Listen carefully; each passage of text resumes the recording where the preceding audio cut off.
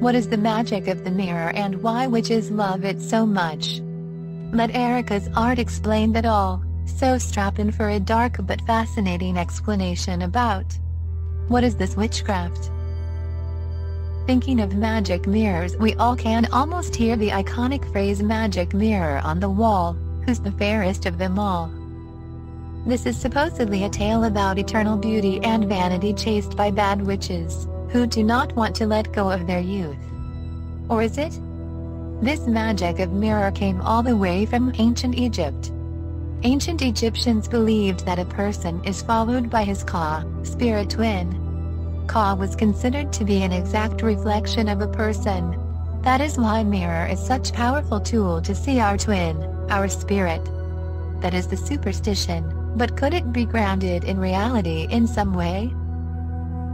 Psychologists Carl Rogers and Abraham Maslow claim that differently from all other animals, which do not recognize their own reflection in the mirror as themselves, people from young age develop a dual understanding of themselves. Mirrors provide us the opportunity to see us as observed from a side. But not only do we see our physical body as it appears at the moment, we also see ourselves as somebody who we strive to be emotionally, Think about how you prepare for the ball, you wear your best makeup, dress and hair and think of your reflection as representation of you. However, the next morning you wake up having hangover, dark circles under your eyes and messy hair. Oh, I don't look like myself you say and go fix yourself. But physically you do in fact look like yourself in given circumstance, only the reflection of the last night is like a better person with your face on who you must imitate and become.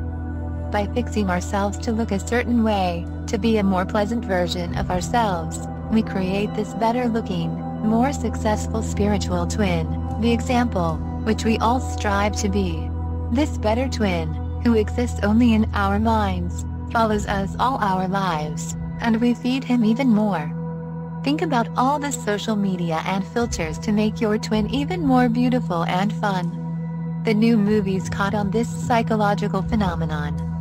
Think of the difference between movies Mirror, Mirror, and Snow White and the Huntsman, both released in 2012. The first movie shows the queen as powerful, but calculating and vain. Clementianna and her twin Mirror Queen want to get rid of the Snow White, who is her virginal and younger competitor. As Mirror Queen is vanquished, Clementianna becomes an old vengeful crone. The second, more successful movie is focused more on its villain. Ravenna's village was rampaged as she was kidnapped by the enemy king to become his abducted bride. Ravenna charmed her husband with her beauty and killed him gaining his power. The queen's magic mirror is not for vanity. Ravenna sees her reflection as an immortal, almighty ruler. The existence of the magic mirror itself is in question, no one else sees who Ravenna is talking to, the mirror exists only in her mind. Ravenna wants to become that perfect reflection, and for that she detracts the life force of others, bathing in milk while her peasants starve outside, or magically, by sucking youth from surrounding young women. The mirror tells Ravenna to take a pure and innocent heart in order to live forever. Ravenna understands that literally, as a goal to cut out Snow White's heart and consume it. However, this is not what the mirror actually told her. It told her to have a pure heart, if she wanted to become ruler who's remembered forever. Ravenna's inability to understand that her reflection twin demands her to become good was her undoing. Erica's paintings are devoted to seeing yourself in the mirror of wishes, seeing your own reflection as successful, brave, but also wise and kind. Her paintings are coated with affirmations and incantations which symbolize the fulfillment of those wishes. Women can see themselves in the mirror and think about what their reflection truly represents. It not only shows you who you are, but also reveals how you wish to see yourself in the future, your powerful dreams and goals.